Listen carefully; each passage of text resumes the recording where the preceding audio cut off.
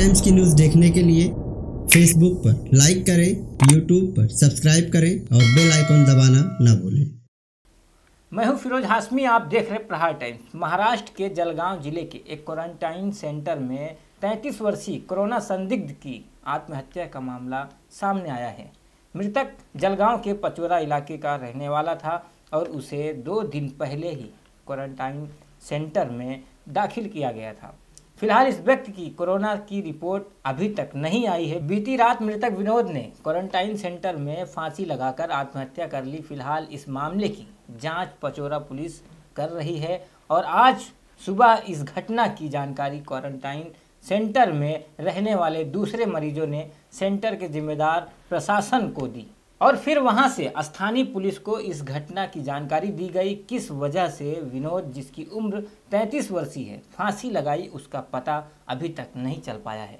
और police centre के कुछ मरीजों को भी संदिग्ध मामले में जाँच करेगी, उनसे पूछताछ करेगी और विनोद को 29 तारीख को जलगांव ज़िले के क्वारंटीन सेंटर में भर्ती कराया गया था और 20 तारीख को उसका स्वाब लिया गया था, लेकिन अभी तक रिपोर्ट का इंतज़ार है।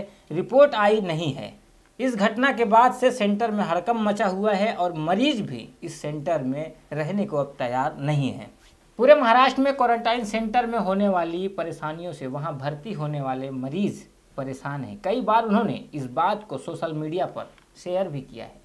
बावजूद इसके अभी तक कोई भी कार्रवाई ऐसे क्वारंटाइन सेंटर पर होती हुई नज़र नहीं आई है।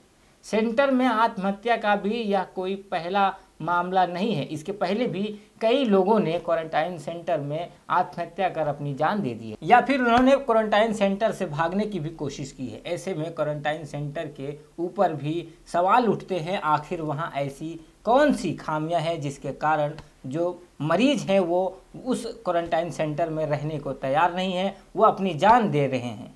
और इसी के साथ समाज राजनीति से जुड़ी हुई खबरों को देखने के लिए देखते रहे प्रहार टाइम्स।